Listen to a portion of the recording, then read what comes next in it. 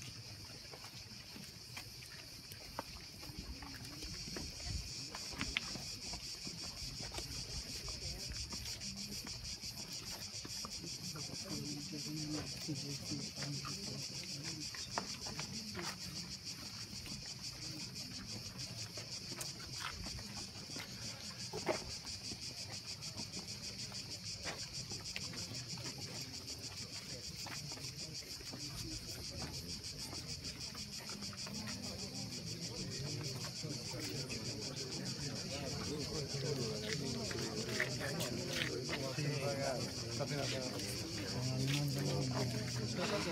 Ero euforico alla proposta, era l'occasione che mi permetteva di venire fuori da un periodo negativo per la montagna e realizzare un sogno. Ogni uscita in montagna è per me un'esperienza entusiasmante, qualsiasi sia l'impegno.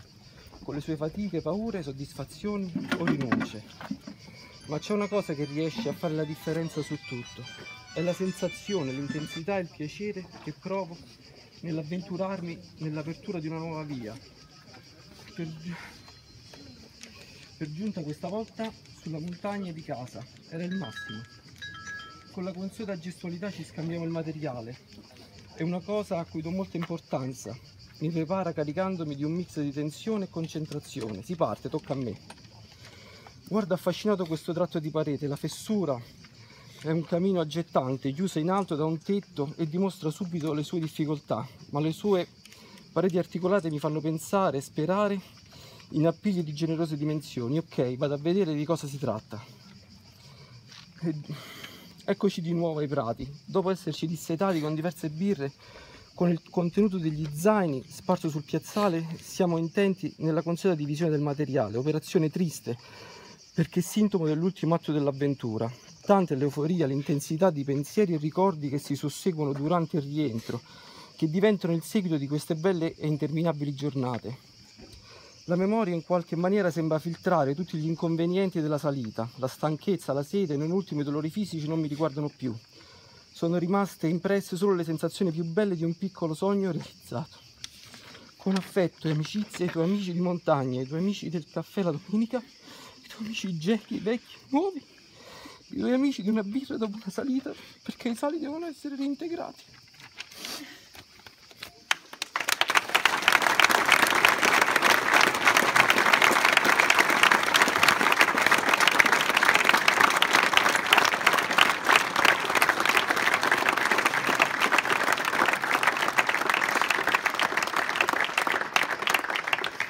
Diversi da voi. Siamo tutti amici, no, diversi nel senso. Luca me lo voglio salutare in Pratolano, se permettete. È stato sempre da me.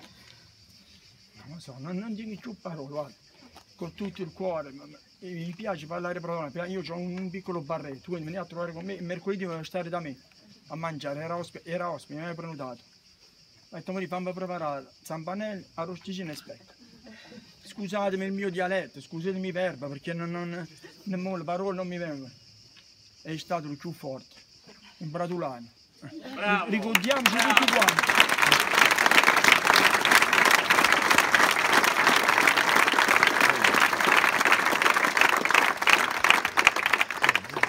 Diceva a me fallo pure tu e io come vedete non l'ho mai fatto. Eh? Io mangio 7-8 al giorno però un po', un po' di più. La, sua, la bellezza di Luca è che eh, se siete tutti quanti qui adesso in questo momento è perché ognuno di voi se lo ricorda sempre con il sorriso. Perché può darsi gli ha riparato la, la- la motoretta in un modo diverso dagli altri come ha raccontato Remo per la bianchina. Perché, perché in montagna era sicuro perché qualcuno ha detto hanno fatto una cosa avventata, guardate che non è vero, perché la montagna che dovevano affrontare era una montagna che loro avrebbero fatto con tranquillità, perché lui e Roberto, il suo amico di sempre, dal punto di vista delle montagne, come tutti gli altri che sono qui con Massimo ed altri, quando andavano in montagna la affrontavano con la massima sicurezza, massima certezza, perché dovevano ritornare, loro lo sapevano. A Yosemite, che è una parete granitica di più di mille metri che sta in California, ci hanno messo due giorni di più, ma non perché andavano piano, era perché volevano andare sicuri.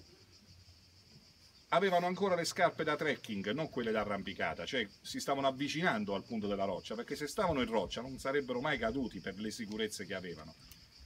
Solo la montagna che è franata sotto poteva bloccarlo. È successo un incidente come è successo a Schumacher quando sciava, cioè non prendendosi un pericolo in quel momento ha avuto il massimo della pena. Purtroppo ci mancherà in una maniera che dico, abbiamo perso un gioiello, io ve lo dico perché lo conosco da sempre. Io Salvatore di Cesare, dov'è? Eccolo qua. Abbiamo le foto con lui quando facevamo le ferrate insieme e io ero più magro, però devo ammettere. E stiamo a parlare di 25 anni fa, 30 anni fa, andavamo tutte le Dolomiti, le abbiamo fatte tutte e si vedeva la capacità diversa di, di gestire il fisico di, di Luca. E lo conosco da una vita e adesso me lo sono ritrovato come compagno e marito della mia, della mia- della mia Cristina e per me era un piacere vederlo tutti i giorni. E la cosa che mi dispiacerà di più per Cristina, per Lelio, per la mamma, per il padre, e che pure per me, che non lo vedrò più. Riempirò l'ufficio di fotografie perché lo voglio vedere, perché...